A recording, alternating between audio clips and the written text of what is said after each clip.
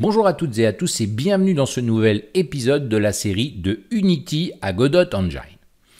Alors, on avait déjà pas mal avancé avec notre petit platformer, voilà où on en était, et on va maintenant bah, s'occuper de quelque chose qui est important pour notre jeu, parce qu'on peut voir qu'il peut ici prendre des dégâts, il peut aussi euh, tout simplement sauter sur les, euh, sur les ennemis, mais on a ici un plan d'eau et comme on peut voir, on passe à travers et en fait ici on n'a aucun dégât, rien ne se passe euh, ici dans ce plan d'eau.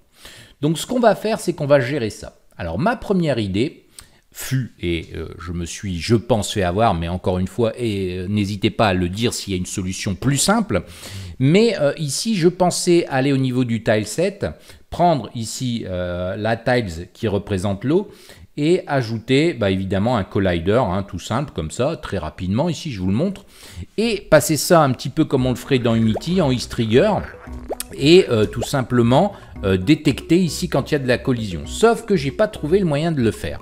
Alors je me suis, je me suis peut-être raté, j'ai regardé pas mal sur internet, mais j'ai rien trouvé à ce sujet-là. On m'a, alors j'ai bien, il y a bien des solutions. C'est par exemple de créer une tiles ici avec une area shape qui permettrait en fait de détecter qu'on passe, euh, qu'on touche cette tile ou qu'on passe à travers cette tile. Bon, moi c'est pas ce que j'ai voulu mettre en place ici. Je vais faire quelque chose de plus simple. Donc je vais euh, déjà reprendre mon tile set, ma tiles ici, et je vais supprimer le collider. Je veux que ça passe au travers.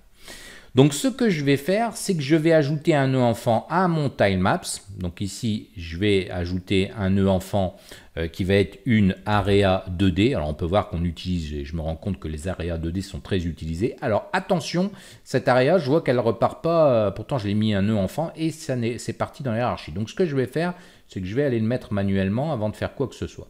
Évidemment, pour que cette area fonctionne, il lui faut un collision shape. Donc on va lui mettre ici un collision shape 2D évidemment, on me dit qu'il faut choisir une forme.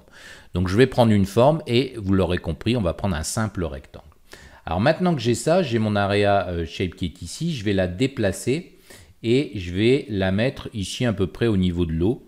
Et maintenant, ce que je vais faire, c'est que je vais dimensionner le collider. Donc voilà, je vais l'agrandir, je vais le baisser un petit peu, bien que vous aurez compris que la, hauteur ici en dessous n'a pas d'importance, un peu d'importance. Ce qui va être important, c'est ici. Alors je vais le mettre à peu près là, par exemple, voilà, pour que mon personnage rentre un peu dans l'eau.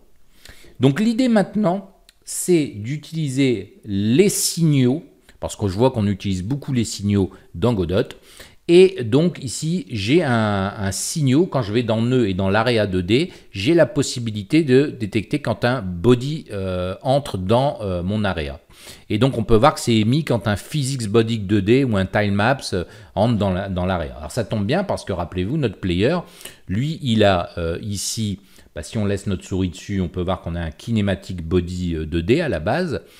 Et euh, d'ailleurs, il est dans le groupe player. On avait vu pourquoi on l'avait fait, j'ai pu revenir là-dessus. Donc je vais aller dans mon area 2D, je vais aller au niveau des nœuds, des signaux, et je vais ici cliquer sur Body Entered. Je vais faire un double clic et je vais le connecter maintenant à mon player. Et ici, je vais modifier tout simplement euh, le nom, parce que comme on est ici en euh, C Sharp, je vais essayer de faire les choses assez correctement au niveau du nom, c'est ce que j'avais fait précédemment. Je le copie et je le connecte. Alors pourquoi je le copie? Bah, Vous avez pu voir qu'en fait ça m'ouvre bien le script, mais ça ne me crée pas ma méthode. Alors quand j'ai des scripts, ça le fait. Donc ça c'est assez embêtant, j'espère que ça va être euh, rectifié plus tard. Donc ici je vais créer de la même manière que je l'avais fait au-dessus pour le, spike. Je vais faire un area euh, body 2D. Et qu'est-ce que je vais faire? Bah, je vais récupérer en fait cette variable en disant que si ça fait partie du groupe player, bah, je vais faire ça. Alors d'ailleurs, ici, Bon, je suis dans une formation, euh, je ne vais pas m'arrêter, mais j'aurais pu ici euh, faire différemment pour le code et le, euh, je dirais, le factoriser, mais je ne vais pas le faire ici parce que bah, on est dans une formation, en tout cas dans un tuto, et je découvre Godot, donc je ne vais pas m'embêter plus que ça. Donc ce qui veut dire que maintenant, si je n'ai pas commis d'erreur, ça voudra dire que en fait, j'ai évidemment le même comportement, je perds des, points de vie, voilà, même si je touche celui-ci, on peut le voir. Par contre, maintenant, si je tombe dans l'eau, on peut voir que je perds à chaque fois euh, des points de vie, alors ce qui n'est pas le cas. Alors je meurs bien, mais ça ne se met pas à jour ici. Alors on va aller voir pourquoi. Alors tout simplement parce qu'ici, vous voyez, Alors on utilise elf, alors je ne sais pas pourquoi ici ça fonctionne, je pense que j'ai fait la même erreur. Euh, c'est tout simplement ici que, vous voyez, dans mon getter, en fait je dois utiliser elf avec un H majuscule, parce que là du coup je, récupère la valeur ici, je modifie la valeur de ça. Alors, ce que je comprends pas, ouais, c'est ça, c'est parce que je mets à jour la progress bar ici. Donc en fait ici c'est elf avec H majuscule, et d'ailleurs ici aussi, je pense que j'avais fait une erreur, mais vous l'avez peut-être rectifié. Donc maintenant, on devrait avoir le comportement escompté, à savoir que mon petit personnage doit être maintenant capable de prendre des dégâts dans l'eau. Voilà, comme vous pouvez le voir, je peux le déplacer. Voilà. Et quand il est à zéro, il meurt. Alors pour le moment, on s'est pas occupé de ça, mais on peut voir que ça fonctionne. Alors reste quand même un petit souci, c'est que j'ai ici un deuxième plan d'eau, enfin un plan d'eau, on va dire que c'est tout simplement ici euh, une, euh, de l'acide, et ce que je vais faire, c'est que je vais euh, ici tout simplement euh, rajouter un deuxième nœud enfant qui va être de nouveau une collision shape. Je vais lui redéfinir ici euh, tout simplement la même forme qui va être un rectangle. Et je vais maintenant la déplacer. Alors ce rectangle il est là, donc je vais...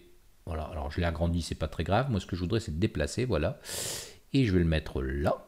Et je vais zoomer un petit peu et je vais essayer de faire la même chose. Voilà, ici ça me semble pas mal. Ce qui fait que en fait, étant donné que c'est sur l'AREA euh, par an, je devrais avoir exactement le même comportement, chose qu'on va vérifier tout de suite. Donc ici, je saute au-dessus, voilà, je vais passer par le dessus. Alors tiens, on va tester en même temps si le spike fonctionne. Voilà, on peut voir que ça fonctionne. Et ici, euh, bah, je vais passer en dessous, voilà. Et normalement, alors je vais même aller au-dessus. Et je vais voilà. Et on peut voir que j'ai exactement le même comportement. Voilà. J'ai bien mon personnage qui saute pour finir par mourir. C'est parfait, ça fonctionne. Vous pouvez voir qu'on a mis en place ce petit système, voilà, qui est très simple. Euh, alors, j'ai peut-être raté quelque chose, euh, mais euh, sur ce coup-là, je trouve que c'est un peu moins bien en fait, parce que alors soit je vous dis j'ai raté quelque chose, ce qui est grandement possible hein, parce que je découvre encore Godot Engine aujourd'hui, mais j'aurais préféré avoir un principe que je pouvais appliquer directement au tilemap. Euh, enfin, bien que là c'est à peu près la même chose, hein, étant donné que je gère ça au niveau du, euh, signal ici de l'AREA. Donc après, euh, je peux mettre mes collisions. Bon, c'est pas une grosse différence. Disons que c'est déroutant. Je voyais pas faire ça de cette manière. Mais en tout cas, ici, on a mis en place la gestion en fait de la collision avec notre player sur les plans d'eau. Alors ça pourrait être plein d'autres choses. Hein. Ici, je le mets sur un plan d'eau, mais évidemment, vous pourriez euh, appliquer ça dans pas mal de situations de jeu. Donc j'espère que cette petite série euh, vous plaît toujours. N'hésitez pas à mettre un commentaire, euh, à mettre un gros pouce bleu sur la vidéo et à vous abonner à la chaîne si ce n'est pas déjà fait. Et je vous retrouve très prochainement pour un prochain tuto sur Godot Engine.